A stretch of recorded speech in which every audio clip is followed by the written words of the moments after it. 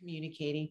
What is the dog communicating when, let's say, they've always been good, they potty outside, we don't have any of those Mhm. issues, and now all of a sudden we're we you know the the dog peed in the house or the dog started chewing on the table or Yeah. things like that what is the Mhm. dog saying hey i need some attention here or is the dog more overwhelmed with the space like more energy in the home what would you Well, say you know,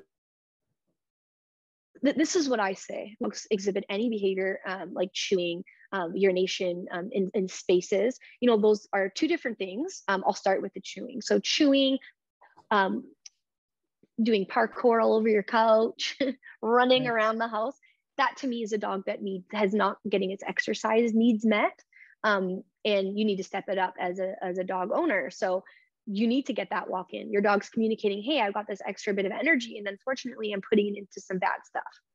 You know, Okay. um, chewing um, is at sometimes um, matters the age of the dog because if they're teething, obviously it feels good right um, you know, say we have a six, seven year old dog, border collie, just for say, um, um, that that is starting to chew your your kitchen table now that the baby's home. You know, like it, for me as a trainer, I'd say like, hey, is has it gotten to run?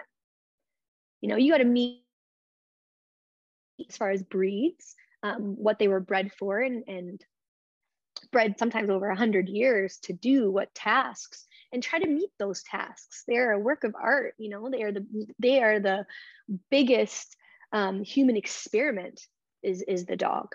You know, Right. we have really um, we have bred these animals to do certain tasks and to be a certain way.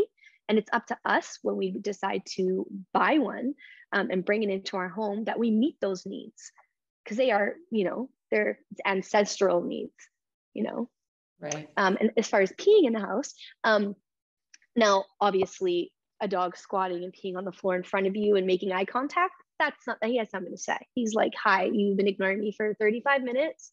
I've been telling you i have to go out so here we go. You know sometimes you get that. And then sometimes you'll get a dog that all of a sudden is is jumping up on the couch where you've been laying um, the bassinet for the baby and peeing where you've been laying the bassinet. That's a dog saying hey like I like to lay there and let me just communicate that this spot's mine. okay What that tells me is that dog doesn't have its own spot. uh-huh. That's when having your dog's place is huge. Um, you know, they're always saying something. They communicate. They they live in packs, so they're they live Right. harmoniously most of the time, and they communicate.